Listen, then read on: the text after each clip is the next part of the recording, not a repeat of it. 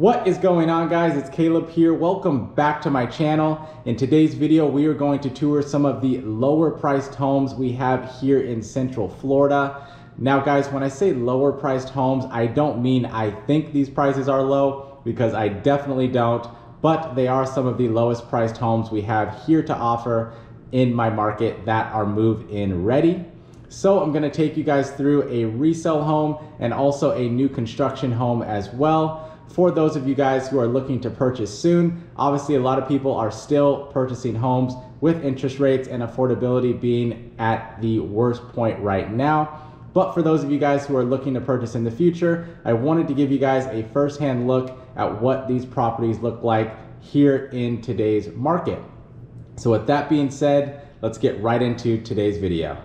All right, guys, so this property is located in Kissimmee, Florida. It was built in 2004 and it has 1731 square feet of interior space. It's on a 0.18 acre lot. I'm going to give you a quick look at the street view. Now, this property has also had a recent price reduction of $20,000. It was originally listed on the market for $349,000. It is now on the market, guys, for $329,000. So we are going in the right direction here. Um, it looks like the obviously the landscaping needs to be needs to be fixed up and maintained but I think you know once that's all done it look really really good. So anyways let's go ahead and check it out. Here's just a quick look at the front of the house. It has had some recent upgrades. It features four bedrooms you have two full baths you have a monthly HOA of $23 a month annual taxes of $3,001 a year. So let's go ahead and take a quick tour.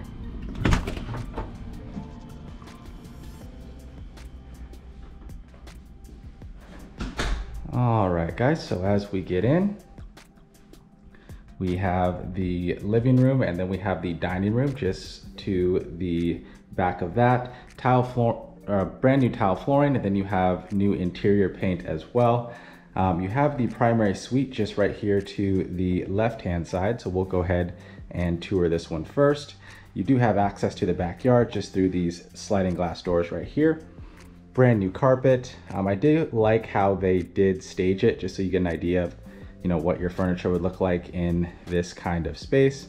So let's go ahead and continue and we'll find uh, the closets here, which uh, there's closet number one, and then we have a walk-in closet just right here to the right-hand side.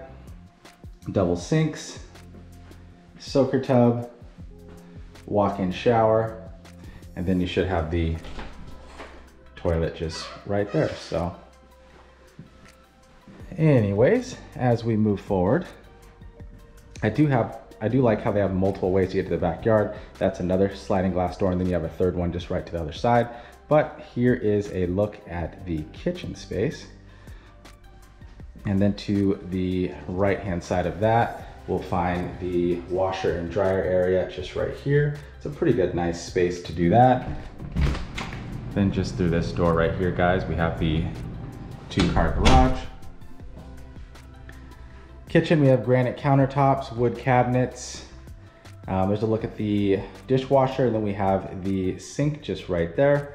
Uh, just behind that, we have our second living room and then also the third sliding glass door, which I told you that leads out to the backyard space as well. So here's a look at this whole area here. It's pretty nice. I do like this floor plan. It's definitely not bad at all. Um, so let's go ahead and check out the second bedroom because the remaining three bedrooms are going to be on this side of the house.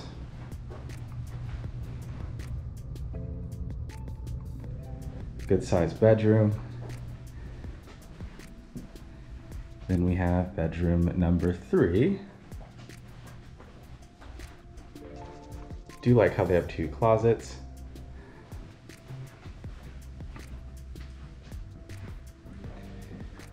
And guys, we'll find our fourth and final bedroom just right here.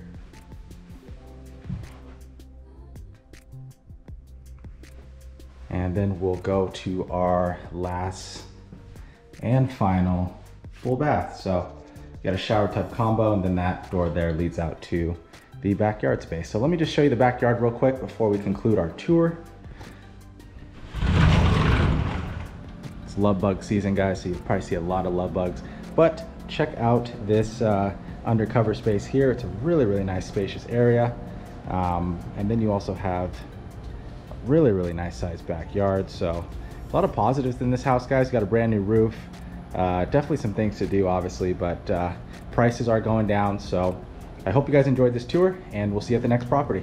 All right, guys, so we're at our second property in Lakeland, Florida. This is actually a brand new home. It'd be perfect for a first-time home buyer or even just someone looking for a house under $300,000. It is currently on the market for $263,000. You have 1,199 square feet of interior space, but it feels really, really open in the house, so it doesn't feel as small as it is, as it's under 1,200 square feet. It's on a 0.10 acre lot, and it has zero HOA, features three bedrooms, two full baths. So let's go ahead and take a quick look. As you can see from the outside, I can use some landscaping, uh, just some touch-ups, just because it's been raining quite a bit here in Florida over the summer. So it's just a little bit, grass grows really, really quick here. So, but I do like the front porch. As you can see here, it's completely undercover. Has some nice columns with some uh, brick accent as well. Um, just put some chairs out, just relax. I think it's it's got some uh, it's got some good features, and I do love the curb appeal of this house. So let's go ahead and take a quick tour of this home.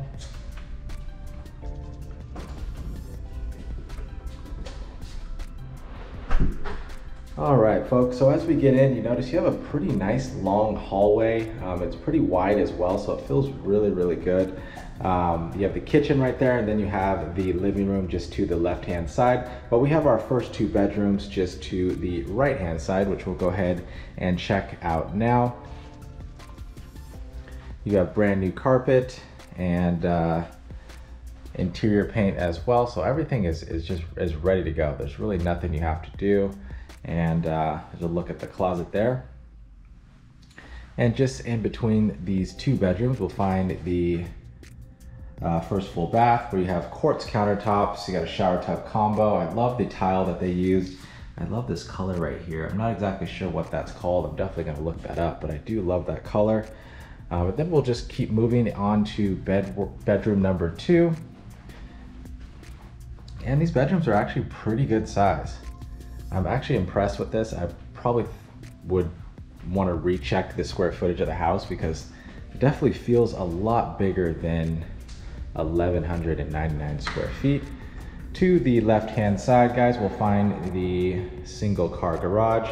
Looks like a little bit oversized, so you have a little bit extra room here as well. I believe, actually, this is where the washer and dryer would be going right there. As you see the hookups, you have the water heater just right next to it.